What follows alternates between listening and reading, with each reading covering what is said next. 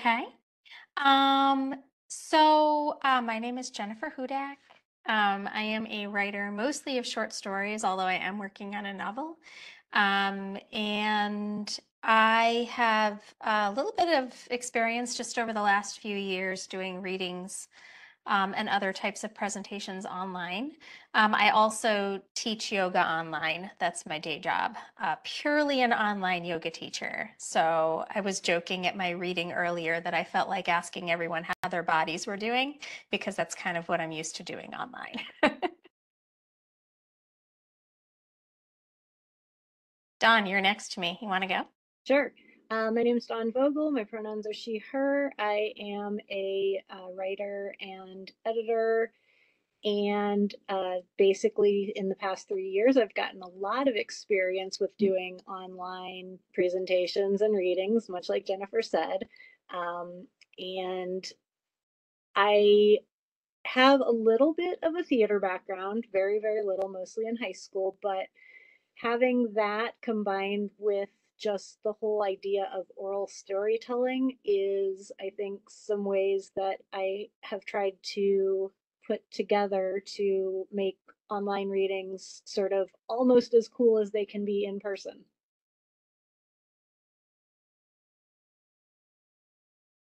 Well, I am Thiago Ambrosio Lage. Uh, my pronouns are he, him. I'm Brazilian, maybe you can notice by the strong accent. and I'm a professor in food science and engineering and biotechnology. Uh, I'm not very used to online readings of my fiction. I've read only for small groups in or study groups in fiction, but I'm very used to online teaching because of the pandemic. I had to, to resort to the emergential remote teaching. We, we didn't call it uh, education by distance here because it was emergential, it was a, a exception né, to be teaching online, but now uh, teaching online came to stay with us. So I've got used to teaching online. I write mostly short stories, and I'm working on uh, my first novel too. uh, but my stories are uh, almost all of them are in Portuguese. I have only one short story in English. And So I just pulled up the email that has Wendy's questions in it. So Oh. I'm willing to pitch in, hit until she gets here. Um, so her first question that she asked is, uh, what are some common challenges writers face when reading their work in front of an audience, or in the case of online readings, when you can't see your audience? Can jump in with that. So I also have a theater background, by the way, Dawn. So I think that um, that helps for sure. But I, I feel like um, whether you're reading online or in person, um, knowing where to look is is a hard thing. So if you're, I mean, if you're reading in person too, like how much do you look up at the audience? How much do you just look down at your at your uh, story or whatever you're reading? And I feel like that's compounded a little bit online because you're not actually looking at your audience when you're online. I feel like when you look up at the computer, you see yourself. And I have noticed in some readings um, that I've attended over the last few years, uh, it's easy to get distracted when you're seeing yourself. You're much more aware of what your facial expressions are and how you're looking. Um, and sometimes that can be it can just come across as very um, affected a little bit when you're when you're overly overly kind of distracted by looking at yourself but it's really hard not to be if you are looking up at all. Plus the fact that you're looking kind of askance because the camera's kind of up there so. Uh, I think it's also difficult because when you are teaching or reading uh, in person, you can make micro adjustments while you read on the expression and general mood in the room. It's kind of hard to explain. Uh, in theater, people can feel it more uh, strongly. né? Uh, you have the, this instant feedback from the audience, maybe from facial expressions or, or uh, body language, and you don't have this online. So you must uh, all you're reading your story and be able to go through it without any kind of external guidance. For me, it's very difficult because you have to, to smash it so, you can do it without this kind of, of signs. Uh, so for me, it, it was very difficult because uh, in person, I teach very long classes here. I, I always be uh, changing between classes and reading.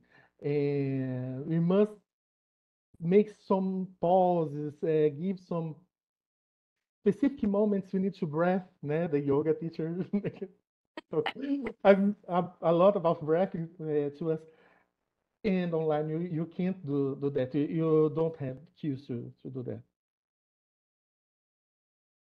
I uh, I have a specific passage that I like to read from one of my novels when I'm doing live readings, and I found that it doesn't go over nearly as well when I'm doing it online because there is a real gross out moment in this, and I love seeing everybody's brains turning and realizing what's happening and just doing that without a live audience it makes it a lot more complicated because I know that people are probably, you know, cringing and making ooh no- noises, but I can't hear it or see it. And so I have to remember to slow myself down for that part so that they're not missing what I'm saying next. Another interesting thing, and I will mention this because I see that neither of you are wearing a pair of glasses, but watch my face as I turn to the left. And there goes the blue blocking in my glasses. Um, I did a reading once where somebody said that they thought I looked like the little girl from Dune with the glowing blue eyes because if I'm looking at a white screen, it kicks in the blue blocking. If I make my screen darker, it doesn't do that. So that's a yeah, it it's a it's one of those things that is not something you would necessarily think about, but on a practical level, it's there and it causes some problems for an online reading. So that actually, can I just ask a quick question, Absolutely. kind of following up on that? So, um, is it do when you do online readings or whatever, do you tend to read from a screen, or do you tend to print something out or read from a book? When I've done them online, I almost always read off of a screen. And Mhm. the one trick that I've learned on this is that if you adjust the color of your screen and make it very orangish, it cancels out the blue blocking. So um, Mm. I'm actually reading tomorrow, and you'll be able to see that because I will be reading from a screen that I will sh- color shift so that it won't make my eyes turn blue like that. but Jennifer, I noticed Diego? that in your reading earlier today, you were reading from paper, and is that your I, preference? I am mostly because I'm I'm old and I can't. I first of all, I'm I'm, I'm on a laptop, and so I, it looks to me like you have two screens. I do. Is that true? So yeah, I have one screen, and the idea of reading, uh, of calling up my um, document and not being able to kind of check in with what's happening on the screen, um, I, I, I just can't, I can't get my head around that. So I do print out my stuff for sure. I also, it's just easier for me to read from paper, but I was curious what you guys did. What about you, Thiago? Uh, I'm I prefer to read on paper, but I tend to read from the screen uh, because it's more practical. And my printer only works when it wants to.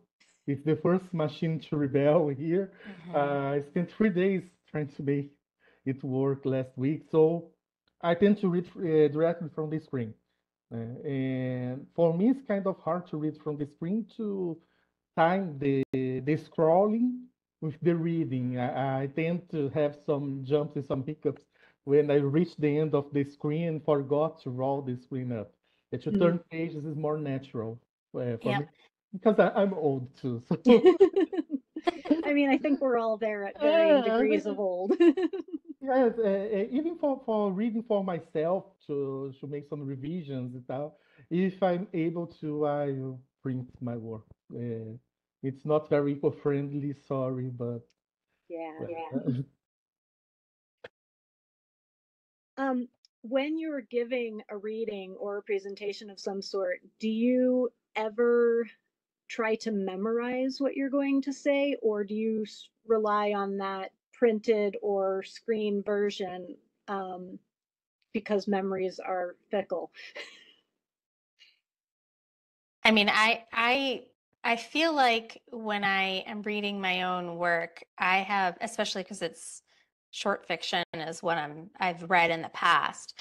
I have read these stories through so much that I do have um, I wouldn't say that I have them memorized, but I I know them pretty well. So I can I do need to rely. I've never actually memorized an entire thing and read it without the the words in front of me, but I can look up periodically for sure and not worry about completely losing my place um, because I do tend to have such a, a huge a huge um, like just I, I've already committed so much of it to memory. I also I will say though that when I have to talk about other things, um, whether something I want to make sure I mention in introductions or something like that, I write that down because I won't I won't remember it otherwise. What about you, Thiago? Uh, I'm on the same boat as Jennifer. Uh, I think that uh, the more I read the same text over and over again, I kind of create in my mind some touchstones inside the text. That there are some safe places, and I get from one place to another, even when the the, the path is kind of fusing in my head. I can read it. So I, I try to, to memorize at least where the tension is, so. I can mm-hmm. prepare myself. So I can read and no, no, the next phrase, it's going to be this way. So now I have to act more relaxed. So the tension uh, appears more.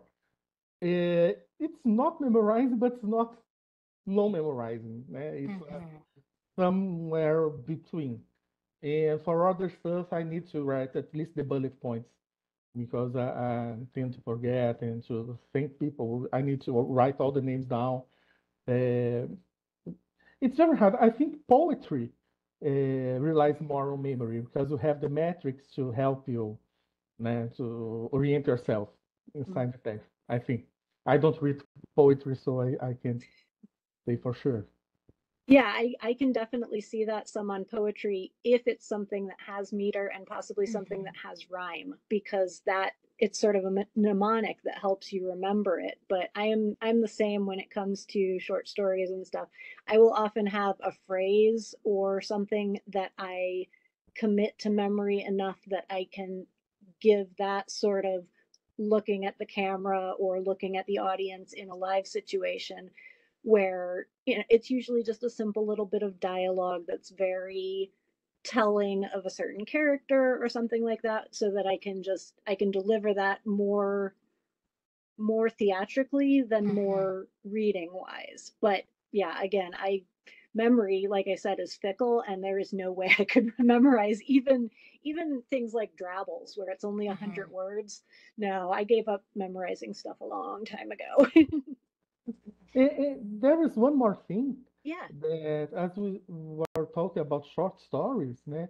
I think the shorter a story is, uh, more precise the languages. Mm-hmm. So you, we need to have the, the really correct words yes. to convey the, the fact that you want to. It's not just telling a story. So it, for me, it's impossible to memorize. I just can't. Yeah. Yeah. And I mean, even with Jennifer and I having both had theater in our background, you know, we memorized lines, I'm sure, but it's a lot of work. And my brain these days is not interested in that much work. It's just not necessary. Yeah. Really. Yeah. Yeah. yeah. yeah. Let's yeah. save the energy for, for other stuff, other work. Yeah. Mm-hmm. I will say that something that I do often, if I have multiple um, characters that all have dialogue um, is I'll sometimes highlight their dialogue in different color highlighter so that I remember because uh, I try to vary my voice a little mm-hmm. bit with different characters so that it's clear when I'm moving back and forth. Um, but sometimes I have to, like, I literally need that visual cue, like, oh, right, this is the deep voiced one or whatever, right. so that I, as I'm reading it, I don't have to think too hard about it. Yeah, I actually do that as well. And my my novel that I like to read the scene from involves five characters, which is not easy to do. But basically, what I've done um, mentally is that one of the characters is here, one of the characters is here, one's here, one's here, and then one's straightforward. And so as I read their lines, you know, if I'm reading if I'm reading the character that's up here, I will look in that direction slightly, and it also reminds me to pitch my voice in that direction. So in in my case, there are three female characters and two male characters. One of the male characters actually does have a fairly high pitched voice. He's a teenage boy. Um, so, you know, I basically I give everybody sort of a physical space that is for both visually looking at and also to remind me to put my voice in that character's range. And it's difficult, but it's one way to do it when you have when you've decided, yeah, I'm going to read this thing with my ensemble cast. That seemed like a really good idea at the time. Um, there, there's a, a uh, someone in the chat asked if there's any tips on adjusting light, screen, etc. And I thought that was a really good question. Um, yeah. So for me, I'm on a Windows based machine and I go into the set the settings for the display and there are ways to adjust the tint and the color and that's where I do that is I just I shift everything down to like this kind of very pale orange color mm-hmm. and that that helps with my with my glasses in particular but just um it also i feel like makes it a little easier on my eyes and some people may find that with different colors mm-hmm. um, just you know depending on your own eyesight and your own eye shape um yeah it's it's for me it's that's been a, a definite uh learning process and and right now so this where I'm sitting right now, I can tell it was the perfect place to be earlier in the day. And now I can see, I'm realizing the light is coming through the skylights and making me look like uh, an alien's coming down for me or something like that.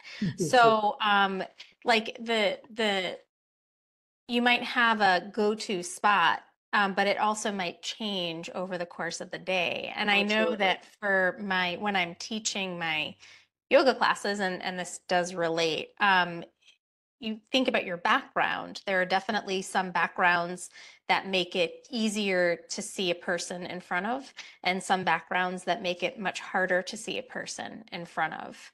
Mm-hmm. Um, but I also think that um, I think for online readings, the I, I spend more time thinking about the sound quality than about the visuals because I feel like that's kind of what probably people are going to be paying the most attention to. Um, and so I do use a little mini mic, um, a little Rode mini mic that plugs into my computer um, because if I don't use that, I find that my voice sounds tinny mm-hmm. um, and it's a little harder to understand with just my laptop basic microphone. Mm, I, I'm not sure if I should give some tips because I'm not following them. So I have a light just over me and my bald head, a huge reflection here and on the wall behind, behind me. So uh, just don't use a light over you, especially if you are bald. if you're bald, can uh, put some powder here to, uh, to diminish the reflection and try to put a lighting on your side on light of 45 degrees. Mm. There are a lot of, of, tutorials that go in in very detail of what kind of light you should use. Uh, but if I can give one tip that maybe the problem that uh, Jennifer is having is to not rely much on natural light because natural light can change even while you are reading. Oh, start reading in, in, the light, and if the sun goes down, just like it's 6 and 20 here in the night, uh, the light and the, the conditions will change. Uh, so I think the best uh, tip for sound or, or video or, or lighting that I can give is to set your surroundings and get your microphone and make a short recording of Mm. yourself reading. And check this record and see if you can see you uh, nicely, if the background is okay, if the sound quality is okay. Then make a small test. It, it will take only five or 10 minutes and give you more um, confidence to make the reading online after. Yeah, absolutely. That's great advice. Um, I mentioned this a little bit when I was talking about the piece that I read with, you know, five characters, but how do you choose what pieces to read? And is the number of characters a factor, for example? Or, um, you know, Jennifer, you read earlier today and you had a lot of cozy pieces, which were very nice, and it, it felt like a warm cup of coffee to hear all of those, even the even the slightly darker one. I mean, I do stress a lot about what to read. Um, and I do think too, like um, what Thiago was saying earlier about when you're reading online and you don't get that feedback from people, um, that factors into my decision for sure. Um, there are some pieces that I feel like work really well um, when I can kind of play off the audience a little bit. Um, and when I'm reading online, I won't read those. I'll choose different different pieces to read. Um, for me, also, yeah, I mean, I have a story. Um, I have a story called The Cat Lady and the Petitioner that has so many speaking characters because all the cats have their own voice. Mhm. Um, and I have never been brave enough to try to read that one anywhere. Although the person who read it for the podcast did an amazing job. I'm so impressed. Um, but also for me, I feel like um, I often tend to read because I tend to write um, things that border on literary. Um, but the stories that I tend to read often are more, um, I don't know, casually written because I feel like I like to be able to, like I'm talking to someone. I like to have Mm. something to perform a little bit. Um, and and particularly if I'm doing it online and I can't, I don't get that feedback from people. Um, I like to have something that I know is a little bit more of a performance, if that makes sense. Yeah. yeah. What about you, Thiago? How do you choose your pieces to read? Uh, I I just basically more on the audience, né, for uh, to whom I'm reading. Uh, but as I read mostly in, in closed groups, uh, studying or, or changing critiques and this kind of stuff, so I had to to choose based on the production we were making, and I had to read all in Spanish. Uh, I don't speak Spanish. I, I kind of, of because Portuguese and Spanish are very similar. And in Brazil, we have the delusion that we can pretend we speak Spanish and people are going to understand us. It's kind of a collective delusion here in Brazil. Uh, it- we call this mixed language Portuñol. It's a mix of Portuguese and Spanish. And I had to read in Spanish, and it was awful. because I, I had the text in Spanish, but I don't know how to read, how to pronounce the, the letters. I didn't know. Uh, but in this case, uh, it was a group of mostly Spanish speaking people, and I had to read this text, and people were uh, patient with me, with my accent, and etc. So uh, I can think that sometimes we must know that the audience wants to listen to us. Mm. Uh, They are ready also to forgive any mistake, any small mistake that you make, and uh, and embrace your reading, even if it's not perfect uh, in any sense.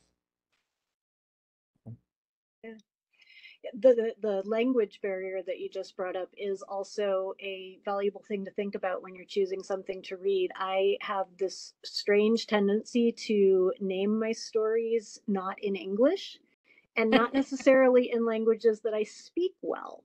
So sometimes I'll have a title and I'll be like, well, this is how I say it in my head, and that's probably not even close to right. Or also character names that come from non English dominant cultures.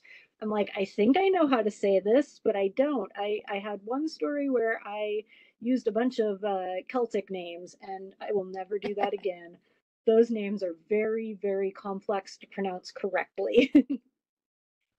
um, so we've talked a little bit about this question, but um, you know, when you're doing an online reading as opposed to an in-person reading, how do you engage with the audience or do you sort of let that go by the wayside for an online reading because it's a little bit more complicated to engage with the audience?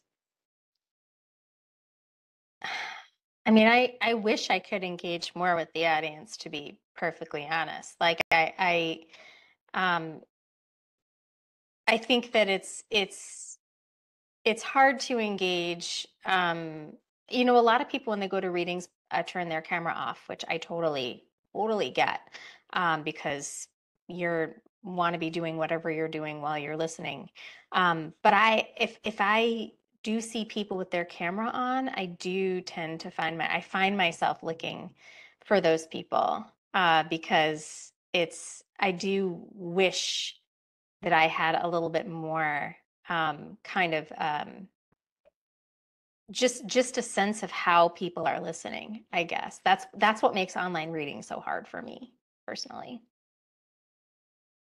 Yeah. What about you, Thiago?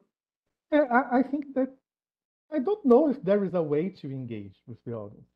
Uh, because even when we teach uh, a class online, uh, most of students uh, that should be participating on class doesn't of class.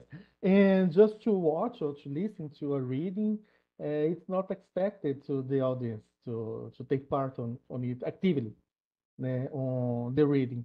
So I think that the only way that we have to engage somehow with the audience is with the, the story itself, with the reading itself.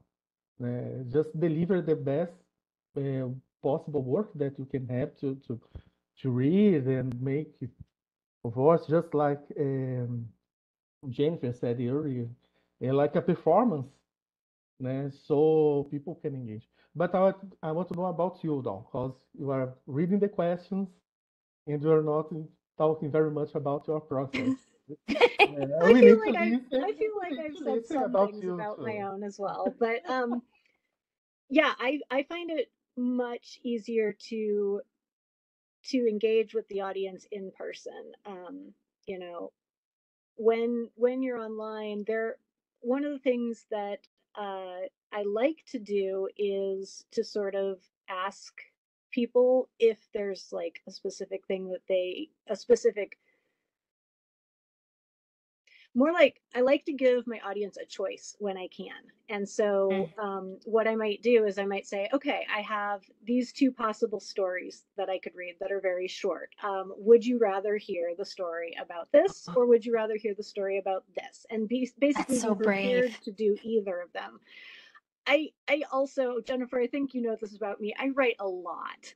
I have a lot of stories to choose from. So so um yeah, I have I have been willing to do that in order to um, sort of give the audience a little bit more participation when I'm doing an online reading.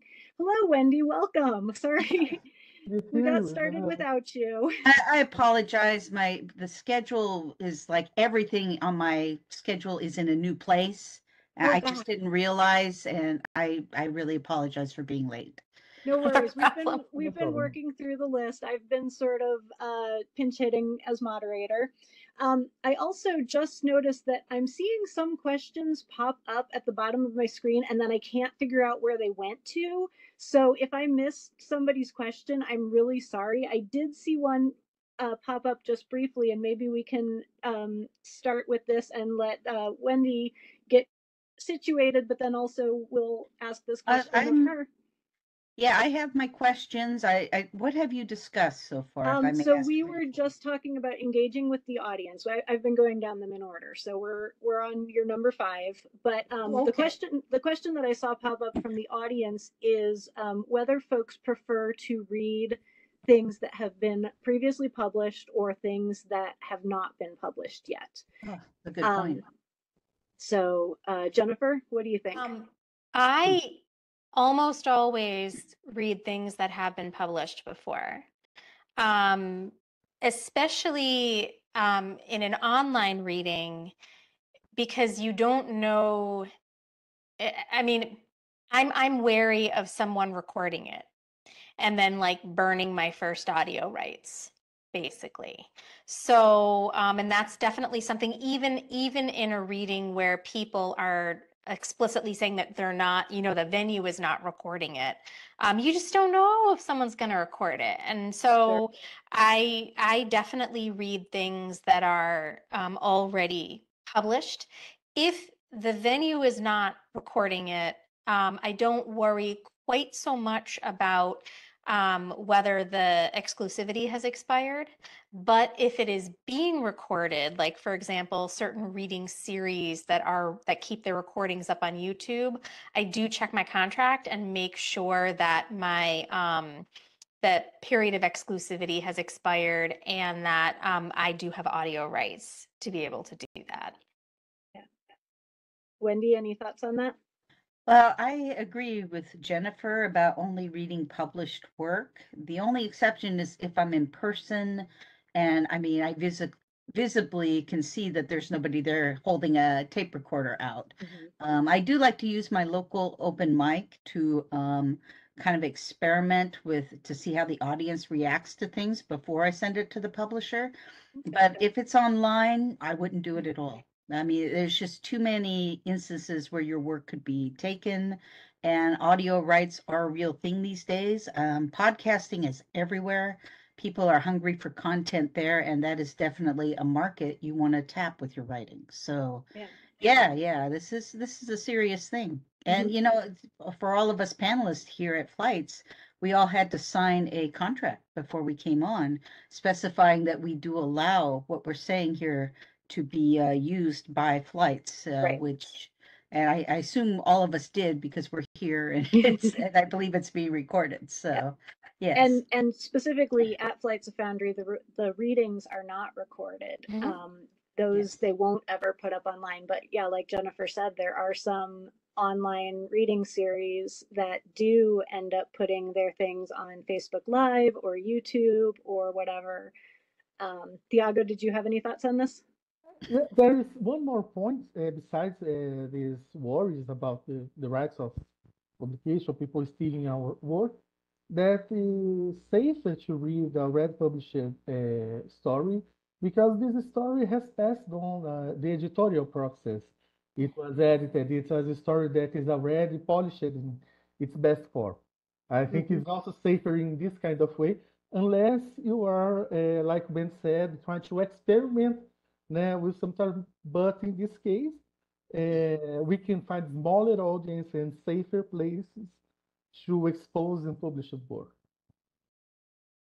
One of the other things I've found with reading stuff that's previously been published is that I've occasionally taken part in readings where I don't necessarily get to read the entirety of the story. Mm. And in a case like that, it's wonderful to be able to say, and if you've liked what you've heard so far, here's the book where you can find the rest. And then that can drive sales to that book. And I mean that that happens when you're reading an excerpt from a novel as well, that you you then have that option to say, yeah, I can't read the whole novel for you, but here it is. You can go buy it in the dealer's room or online or, you know, wherever. And I was Go just going to say, following following up on that, even even with um, things that are free to read online, I have been in uh, readings before where the um, moderator or host has put a link to the story in the chat at the start of the reading because sometimes it's easier for people to follow along a reading if they can read along um, the on with the text while while I'm reading. So that's that's a nice thing that that you can do. That's a great point. especially for non-ta- non-native speakers. it helps a lot. Right. And Yeah, for people yeah. that are learning the language too. Yeah. Uh, it helps a lot. there's there's also i mean i'm i'm one of these people if i can read something as i'm hearing it i retain it a lot better and so if i want to really remember a story that someone is reading to me if i can read it at the same time that's Mhm. really valuable to the way that my brain works And I think that's something that's more indicative of online readings as opposed to in person. Mhm. Um, these opportunities to match up different forms of media are a lot easier when we're here online. than if you're just sitting in a room or standing in a room speaking to an audience. They really, I, I wouldn't say there's a disadvantage. Um, uh, there is a little more um, speaker and audience interaction when you're Mhm. in person. Because as all of you have probably uh, realized, uh, we're sitting here talking on a panel, but we don't see the audience. We don't Right. know their reactions. We don't know if what we're saying is um, getting a positive response or not. Uh, I find that's the one aspect of online um, uh, readings and speaking that I, I just don't really like as much. But, you know, especially during the pandemic times, we all learned to get along and Yeah, do yeah. that because this was the main way of reaching out to people. And and I find that I still do enjoy the access that online readings give to me as a as a poet and as an author. I can have a much bigger reach. I mean, just last month I did a reading in India um, and I pre-recorded it and sent it and everything. So again, I don't see the audience reaction, but uh, it, it gave me access to a continent I probably wouldn't have any access to at all. So it's it's really a wonderful thing, this technology that we have. It's It is, it's yeah. really remarkable. Yeah. So this question is probably still relevant even in the digital age, and that is how do you handle nerves or stage fright when you're reading? I mean, there is a value to your audience can't see you when you're doing an online read, or you can't see your audience rather Mhm. when they can see you, hopefully. Um, but how do you deal with nerves or stage fright? Thiago, would you like to go first? I, I drink a lot of water. I have emptied this cup already, and uh, I, I, it's just like the song from from from The Wicked. Uh, it's time to close my eyes and leap because you have to to throw yourself at it. Uh, we have the, the stage fright. When you are reading online, your stage is as big as the world. The world. Uh, just like now, we're being recorded, we're going to be put on YouTube, and we have no idea how many people we can reach. Yeah. So this is very oppressive. And it's sometimes to pretend to be reading for friends uh, and trying to have a positive outlook, like I said, that people want to enjoy your, your words, your stories, your reading. There are no no enemies there to, to listen to you. So you can make a time safe uh, space inside your head and try to expand it to, to be around everyone. But it's kind of hard. It's I, I just try to ignore and, drink up more water and, and go because there's not much to do. I don't know. Yeah. What about you, Jennifer? Um, so because I was in theater, I don't get stage fright as much as maybe some other people do, but I do get that kind of like little jitter at the beginning. And and I will say that um less so reading online. So I think actually doing there are some like online readings that you can sign up to do if you're nervous, if you if you do have stage fright. Um reading online might actually be easier than reading in person just because you don't have a wall of faces looking at you. It just kind of feels like you're, especially if you, like Thiago said, practice ahead of time in your house. You're used to it. You're used to sitting there reading your own work. Um, it, it it's a little bit more um, reasonable, I think. Um, and I also think um, as much as you want to look good for a reading, like I value comfort so much. Um, but like whatever comfort means to you, if comfort means like putting on a fascinator and like tons of makeup because that's what makes you feel great, like do that before you're reading. I am in yoga pants right now because that like I am not wearing hard pants if I don't have to. So I think um, taking care of yourself and making sure that you feel comfortable and hydrated for sure um, is a great way to make sure that you're just like feeling confident and prepared. You, Wendy. Well, I uh, like uh, Jennifer. I mean, I speak a lot, and I don't really, I don't really feel the old stage fright the way I did back in the day. And frankly, I, I cut my teeth teaching high school, and you know, having 35 to 40 teenagers looking at your every move and every word you say, uh, day in, day out cures you very quickly, stage fright. Um, but I, I do have some techniques. Um, I, I did feel a little nervous talking in front of my city council uh, last, uh, I think it was two weeks ago, because I have to give a report as their poet laureate. Uh, but what I did is when I, I was sitting down, I used breathing techniques. I breathe in, I breathe out.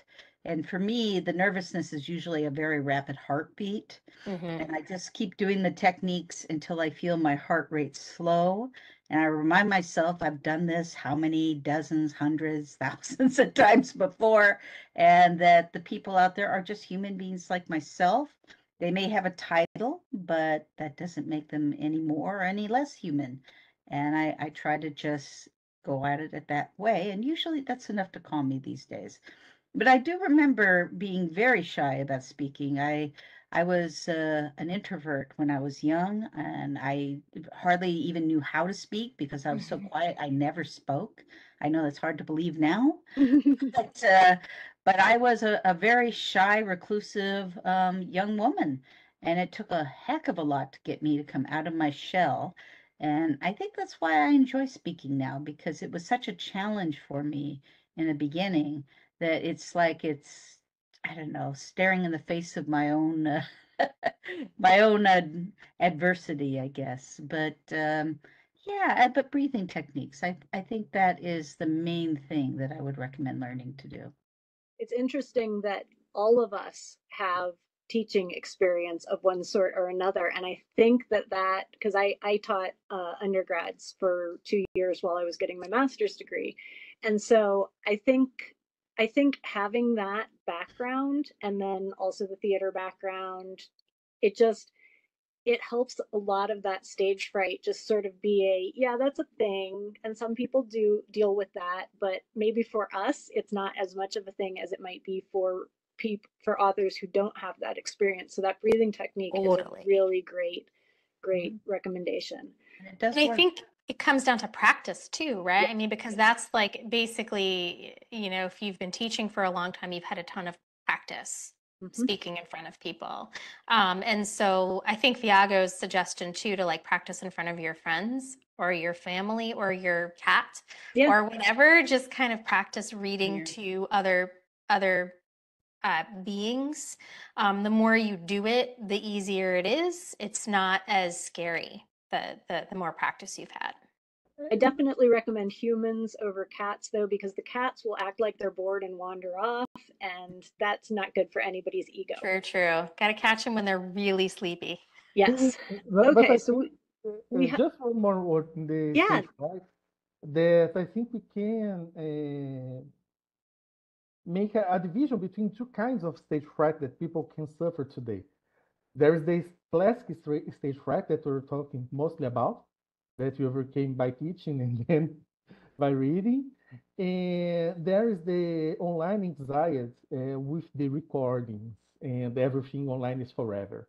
I think it's a, a Mm. second kind of stage fright that can happen more frequently with online readings. And that one is kind of hard because we are not used to this yet. Uh, we try to act like, no, the online community, internet, it's a fact of life, but everything is new, everything is always changing. So, uh, maybe for this second anxiety, we still don't have the, the the recipes and words or, or exercise that can help us overcoming. Uh, I'm very anxious. So, for example, whenever I'm going to a flight, I'm in the airport, I start thinking, and if a gun has materialized between my underwear, uh, and if I'm carrying uh, a live uh, hamster in my pocket and I didn't see it, even I don't have any kind of pet. And for the anxious mind, uh, this kind of scenarios, and if I talk something uh, extremely uh, unacceptable, without even having conscience that I'm speaking horrible things and this is going to be recorded and so so it is uh, it's a topic that we can think a lot about it yet. And the conversation that we're going to have uh, for the next years i think. All right, we're getting close to the end of our time, and I want to give everybody a chance to uh, give any final thoughts that you might have, uh, anything that we didn't talk about, and also tell us uh, where you can find us online, where you can, where we can find you online. Yes, those are the. See, this is what Thiago was just saying about the words that come out of your mouth when you're being recorded. Um, Wendy, why don't you go ahead and go first? Oh, okay. Um, again, sorry for being late. My, I just didn't realize the panel was starting this hour. It's a good thing I decided to come in and check early for the, when I thought it was going to be. Um, but anyway, uh, my name is Wendy Van Camp. I am the poet laureate for the city of Anaheim, California. I'm a poetry editor of speculative poetry books and a speculative poet and artist. You can find me on my website at wendyvancamp.com.